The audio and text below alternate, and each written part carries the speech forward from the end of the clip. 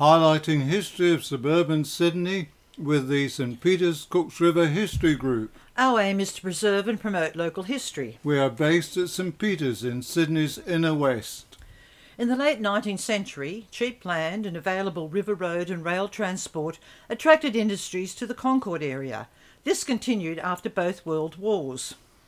Farleigh Nettheim opened a tannery in 1880. The company manufactured King of Mimosa sole leather and a range of other products. When it closed in 1967, the site was sold to the Department of Education for the construction of Concord High School. In 1884, the Australian Gaslight Company purchased land at Mortlake and commenced gas production two years later. The gasworks dominated the landscape until its closure in 1990. The site was redeveloped for medium density housing known as Breakfast Point. Arnott's Biscuit Factory opened in 1908. The factory site, fronting George Street, North Strathfield, has been redeveloped as the Bakehouse Quarter. Near Rhodes Railway Station, the C.G. Hoskins cast iron pipe factory operated from 1911 until 1930 when it moved to Port Kembla. The site was then occupied by CSR Chemicals, which became ICI then Orica until 1997 when redeveloped as high density housing. CSR owned Concord Plaster Mills.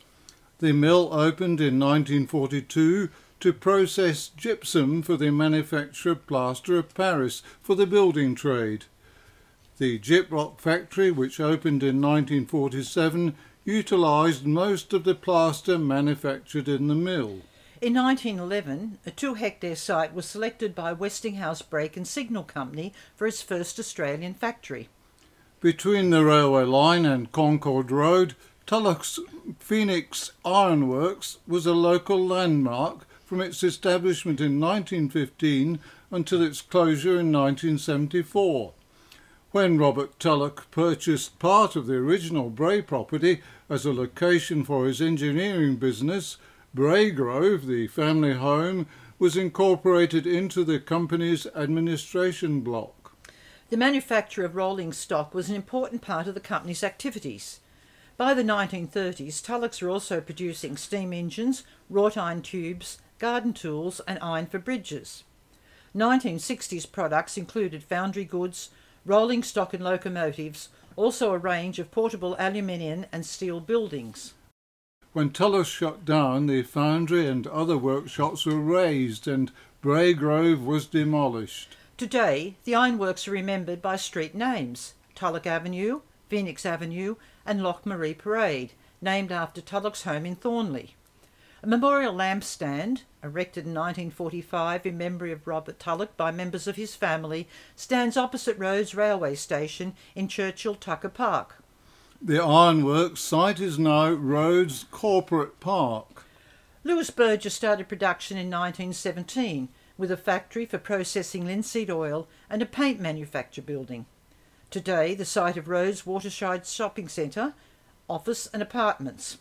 A foreshore park, known as Lewis Burgess Park, contains a war memorial in the form of a sundial, which commemorates ex-servicemen from the former factory.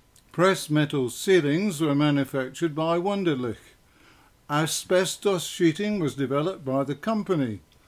When Wunderlich moved to Rose Hill in the 1950s, the site was purchased by the Southern Can Company, which was later incorporated into Containers Limited. The manufacturing of cans for food and drink packaging ended in 1982. The land was sold to its neighbour, Wellcome Australia. The Wellcome Complex was, in 1919, the site of William Cooper and Nephews, whose factory produced sheep dip. Cooper's diversified to produce veterinary and horticultural products. In 1959, the company was purchased by the Wellcome Foundation, a worldwide chemical and pharmaceutical company. Rhodes House was demolished in 1918 when John Darling and Son purchased the land for a flour mill. The company was taken over in 1960 by Allied Mills and in 1963 a subsidiary of this firm, Allied Feeds. Grain and other raw materials were taken by road and rail to the factory where they were converted to pellets, mash and cubes of stock food. The site has been redeveloped as high density housing. Founded in 1920, Ryder and Bell Engineering was the only producer in Australia of firemen's brass helmets. Production commenced in 1941 for the New South Wales Fire Brigade. The company also produced automotive components and a range of fishing and gardening equipment. Dulux Australia Limited began operating at Cabarita in 1921 as British Australian Lead manufacturers, Balm. The company purchased its first block of land when Correy's Gardens were auctioned. Extra land, including the Strathroy estate, was acquired. Strathroy House was used for offices. In 1924, Major Brothers moved to Concord when it had outgrown its original factory at Balmain. They manufactured marine paints, boot polish, and floor wax. Fires occurred at the factory in the 1920s and 30s. The company sold its land in the 1960s.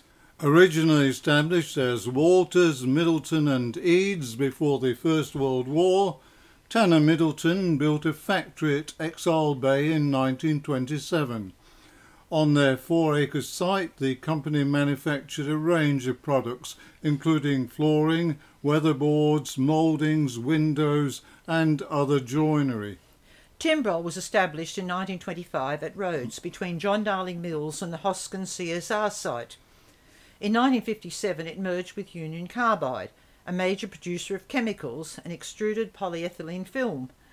From 1966 another division of the company produced plastic cling wrap for domestic use. The site is now a residential area.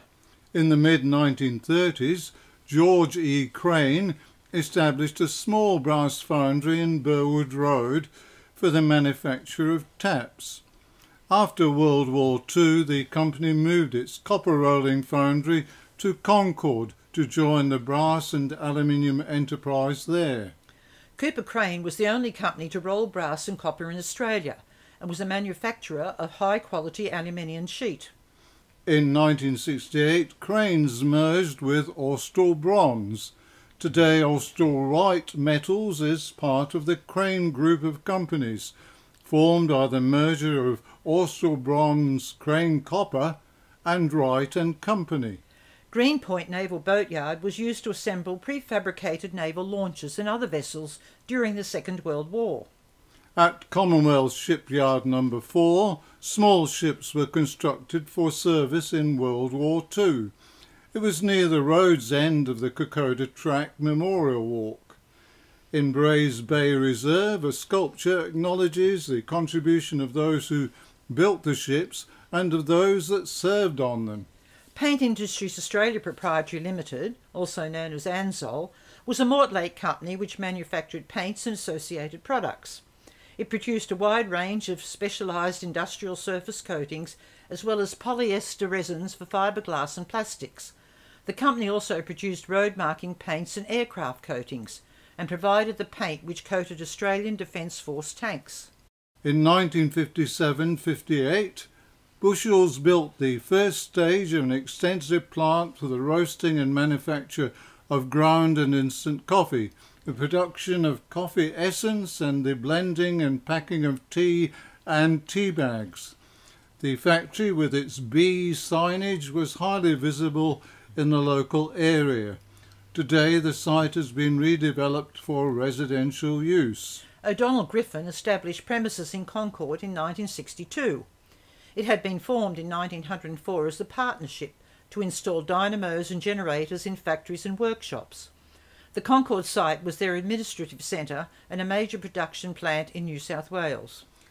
Electronic Industries opened in 1963.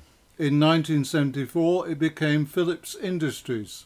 When Philips purchased Malvern Star, the Rhodes plant was used to manufacture Malvern Star and Speedwell bicycles. Philips sold Malvern Star to Raleigh in 1980. Approval was given in 1982 for a major redevelopment of the site.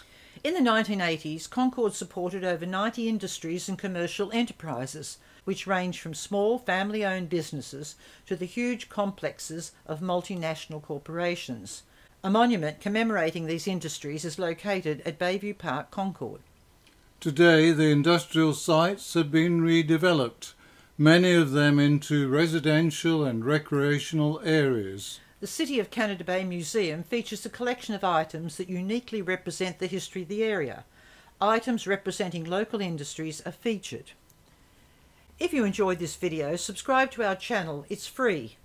Coming soon, Parramatta, Australia's second oldest settlement. And check out our website, stpeterscooksriverhistory.wordpress.com.